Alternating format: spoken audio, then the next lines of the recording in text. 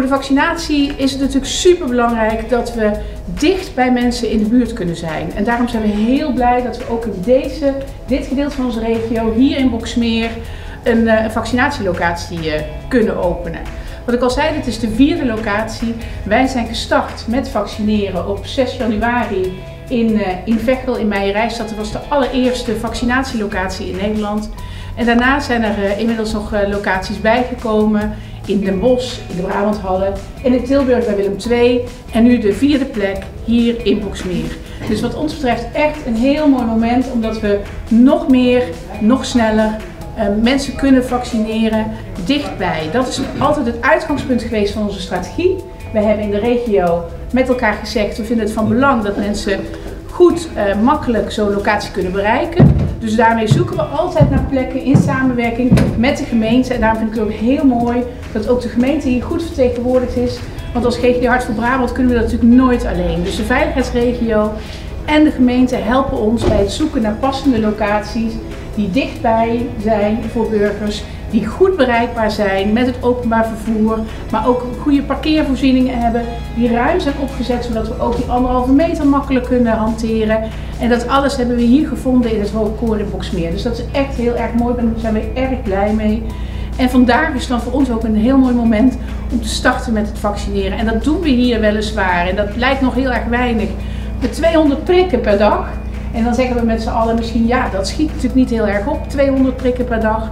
Maar zodra er meer vaccin komt, kunnen we heel snel gaan opschalen.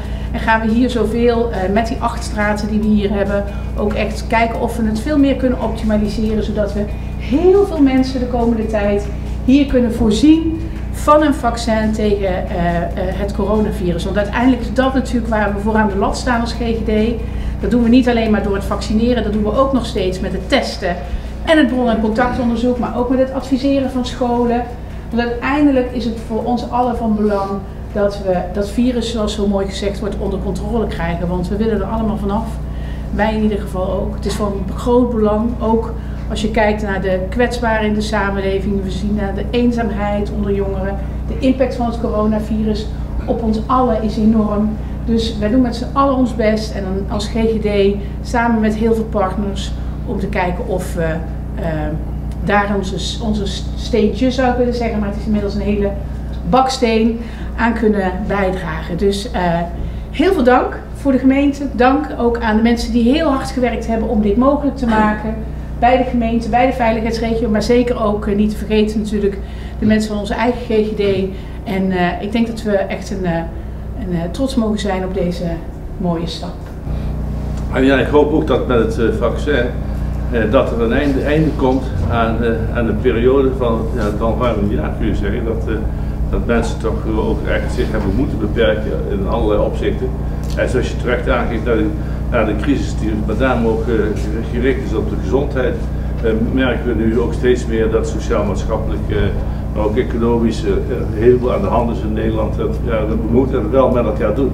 En het begint met, natuurlijk met de zorgvuldigheid en met elkaar toch uh, ja, blijven werken aan uh, het voorkomen van besmettingen. En uh, ik hoop dat de, dat betreft de rust ook in Nederland weer een beetje terugkomt. Want mensen, je hebt gelijk, veel mensen zijn eenzaam of alleen. We hebben nu gemerkt dat het vaccineren gebeurde veelvuldig in, in Diegen. Heel veel oudere mensen, de 90-plussers, moesten niet in die wiegen gaan, afhankelijk van, van ook iemand die met ze zou gaan rijden en zo. Dus wij zijn heel blij en trots dat, dat wij deze uiterst oostelijke hoek van de provincie Brabant wij hier onze bijdrage mogen leveren om uh, jullie de gelegenheid te geven ons allemaal weer naar het normale terug te brengen. En daar hopen we allemaal zo op.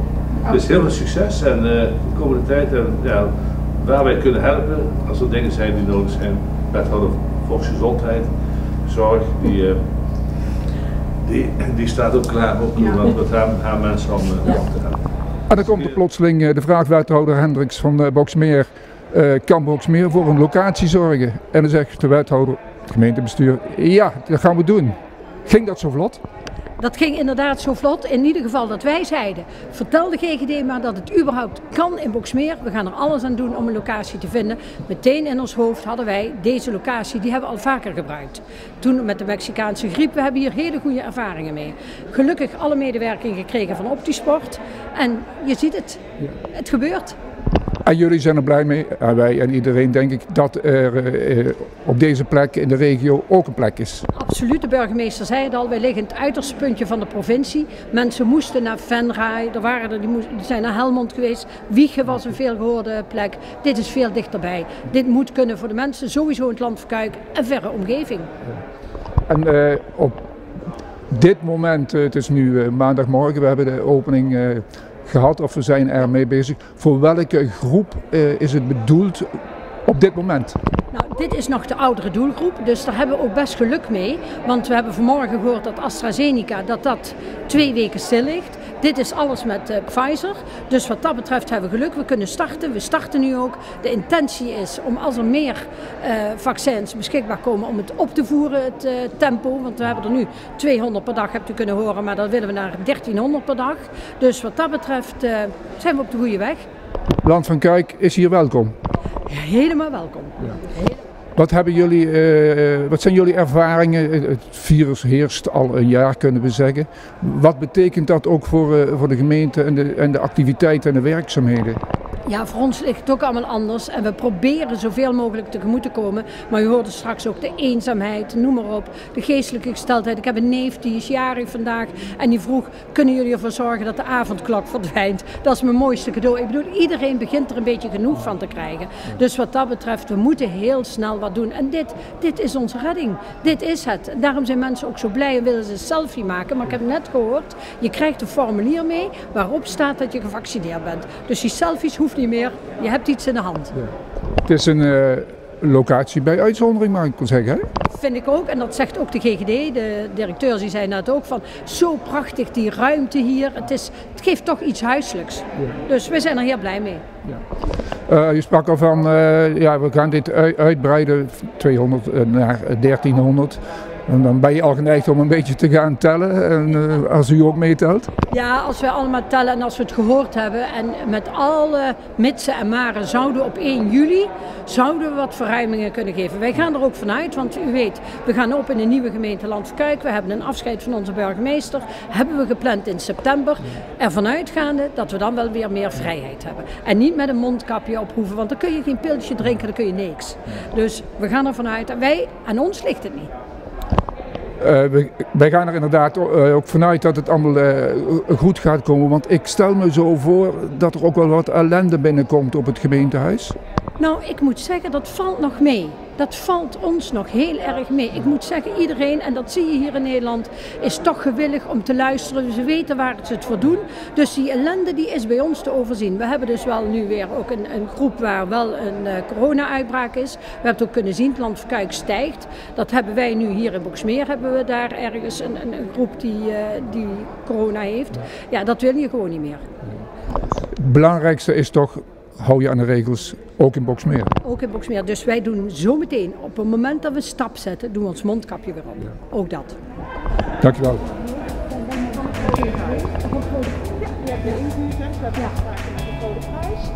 En zij zorgen ervoor dat, uh, ja, dat de mensen goed in de gaten gehouden worden. Uh, die, uh, die doorloopsnelheid op kunnen houden. Ja links ook wel kunnen zien dat we met z'n allen aan het kijken zijn. Hè? Hoe kunnen we ervoor zorgen dat we meer groepen per uur kunnen zetten? Nou, daar is een en ander voor nodig. Uh, en daar is vooral ook meer ruimte voor nodig. Ja. Minder priklijnen, meer ruimte. Um, uh, en dat is wat we dan met elkaar ook aan het verkennen zijn. Om, om, om, ook dat. Uh, je zou kunnen constateren dat je per kwartier, want kijk als mensen een kwartier, dan zijn dit veel stoelen. Toch? Als je nou, dat ligt aan hoeveel, men, hoeveel, mensen je prikt per uur. Ja, dat bedoel ik. Dus, dus als je, als, als je, je echt uh, ja, naar, een, naar een ja. hoog aantal dan per heb je uur hebt, dan heb je echt heel ja. veel uh, nazichtruimte. Mensen die bijvoorbeeld licht geprikt willen worden, of oh. soms willen mensen niet in de armen en in de benen geprikt worden. Dus dan, uh, daar staan die bedden voor. Ja, Oh, ja, je komt natuurlijk. Wat, wat, wat is wat doe je ook vandaag? Uh, geen idee eerlijk gezegd. Ik weet dat er de 150 krijgen, maar... ja, ja. Nee. Voor mij ook niet belangrijk, want de leeftijd. Nee, nee,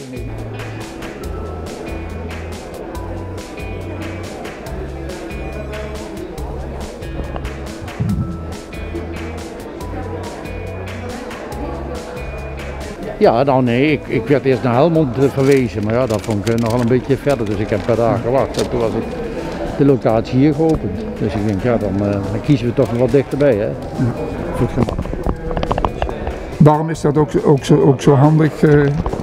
Waarom dat handiger is? Ja, ik vind van Graven naar Helmond vind ik wel iets, iets verder weg als dat ik zeg van ik van pak van Graven naar, eh naar Boksmeer. Dus eh, bent, u er, bent u er blij mee dat het zover is? ja, ja, dat ben ik zeker, ja. Kunt u dat een beetje toelichten? Eh, nou ja, ik vind nogmaals, eh, het geeft me een beetje meer zekerheid op basis van, eh, ja, het is, ja, het is. Be- betreft Ik heb dit, al een, een geval meegemaakt heeft van mijn zwager, dus ja, ik wil zeggen van, eh ja, kom steeds dichterbij en het groepje begint al kleiner te worden in de leeftijd van ons. U, u heeft wel eh, slachtoffers, zeg maar, overledenen in uw omgeving, familie. Ja, ja, zwager van me, ja. Dus, eh, Reden te meer om, het- om het zo gauw mogelijk. wel ja, dat vind ik wel, ja. Kan ik komen? Morgen, welkom. Nou, een primeur vandaag, hè? Ja, ik hoor zoiets, Ja, ik kijk even naar de gezondheidsverklaring en naar uw eh, legitimatiebewijs, alsjeblieft.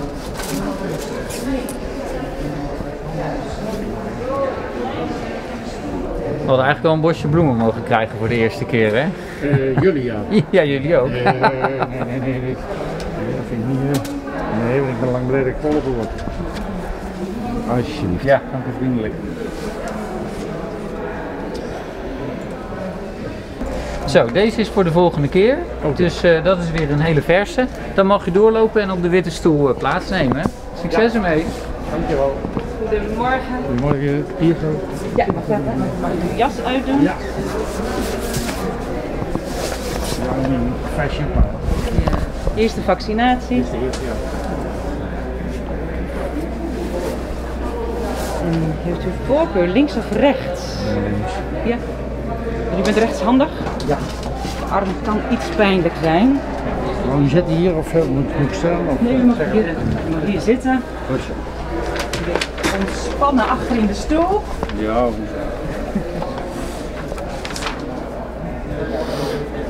Ja. Al mag je niet opnemen, hè?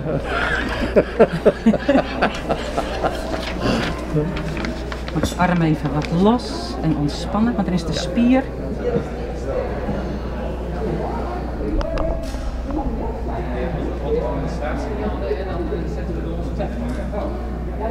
Dan mag u zo dadelijk nog even plaatsnemen. Ja, ik heb het begrepen, ja. Hierachter, ja, u weet het. Procedure, kwartiertje. En als u zit, mag het mondkapje even af. Nu? Nee, zo dadelijk, als u daar zit. Ja. En nog een klein pleistertje erop. Ik weet niet of die eh bloed of Nee. zo, want eh Minimaal. Ik heb, eh, Hoe was dit? Ja, het is gebeurd. met klassen. Het zal ook wel aan de kundigheid liggen, denk ik, hè? Al jaren verpleegkundige. Dus eh, ik, daarom zei ik, het zal ook wel aan de kundige liggen. Ja, ja. Dat, eh, Nou, alsjeblieft. hartstikke bedankt, ja. Viel het mee? Stel niks voor. Opgelucht? Nou ja, in zoverre opgelucht. Ik hoop dat het allemaal eh, resultaat heeft, hè? Want eh, het is toch nog afhangen naar de tweede, hè? Dus ja, dan wachten we maar rustig af. Maar. En u komt hier nog terug? Ik kom terug hier, ja, de, ik dacht april. Krijgt u dan een nieuwe oproep? Eh, nee, die heb ik al. Die heb ik meteen gekregen, hè? Ja. Maar die heb ik. Toen, eh, ja. nee, die hebben meteen die afspraak die wordt meteen gemaakt, hè? Bij de eerste. Dus dat is, dat is geregeld. Dat 19 april, dacht ik. Dat- U zei net van, ja, ik, Sorry? ik zat wel naar uit te kijken naar die, eh, naar die vaccinatie. Want ik heb het in mijn omgeving minder prettige dingen meegemaakt ook. Ja, ik zeg het nogmaals, het, is, eh, het, het, ja, het geeft toch een beetje meer zekerheid en dat, eh, ja, daar kiezen we toch maar voor. Hè. We zijn toch uiteindelijk al een klein beetje in de leeftijd gegroeid dat we zeggen ja, toch, we willen er een poosje verder als kan.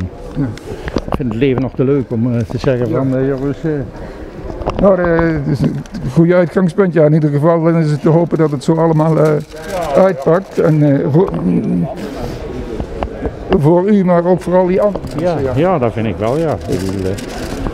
Dankjewel. Oké, succes verder.